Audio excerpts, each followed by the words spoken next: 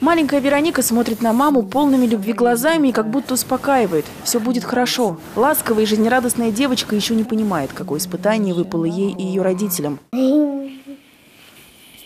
У малышки врожденный гиперинсулинизм. Проще говоря, организм вырабатывает слишком много инсулина, который буквально съедает жизненно необходимый сахар. Без лекарств не выжить. О болезни узнали в три месяца, когда у девочки случился первый приступ. Только вот с диагнозом ошиблись и лечили совсем от другого. Приступ обмекания, значит, э, в пот ее бросила, глазки закатила к носу.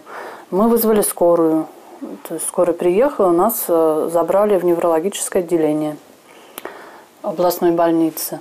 Там нам поставили симптоматическую эпилепсию, диагноз. Веронике становилось хуже. Потеря сознания, реанимация. Из-за ошибочного диагноза и отсутствия необходимого лечения началось отставание в развитии. В свои пять Ника на уровне трехлетнего ребенка. Не может девочка и нормально говорить. Мама, я волка яйцо и.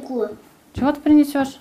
Но Вероника может жить полноценной жизнью, говорят врачи. Вся надежда на уникальное лекарство – прогликем. Стоимость препарата – 125 тысяч рублей. И таких денег у семьи Щербаковых нет, но шанс получить помощь есть.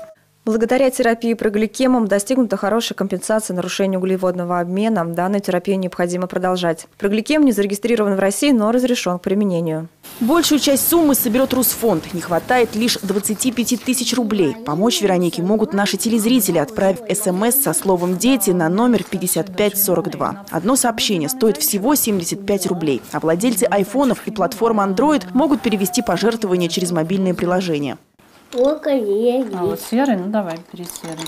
Родители мечтают отправить девочку в школу. О будущей профессии пока не думают, но догадки уже есть. Любит крутить, заплетать. Ну, как заплетать? Так, делать вид, что заплетает. Лишь бы была здоровая, с надеждой говорит мама. Если продолжать лечение, Вероника сможет догнать своих сверстников в развитии и даже полностью победить болезнь. Мария Филиппова, Степан Ерофеев, Вести Иванова.